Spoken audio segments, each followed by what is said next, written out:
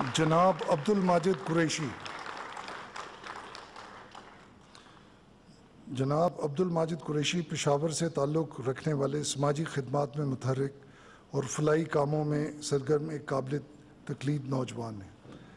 2010 में जाम पेशावर से computer science में अपनी डिग्री की तकमील करने और एक इंजीनियरिंग कंपनी में बतौर आईटी प्रोफेशनल खदमात अंजाम देने के बाद आपने 2014 में अपनी तनख्वाह से पेशावर के गरीब और बेघर लोगों को गज़ा फ्राहम करने के मिशन का आगाज़ किया।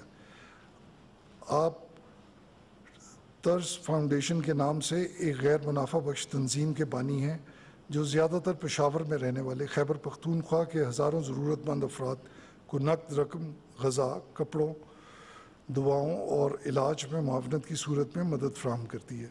जिनमें ज़्यादातर बेबाएँ यतीम, मरीज़, माजूर अफराद, बेघर, ज़यीफ़ शहरी और कम मरात याफ्ता लोग होते हैं।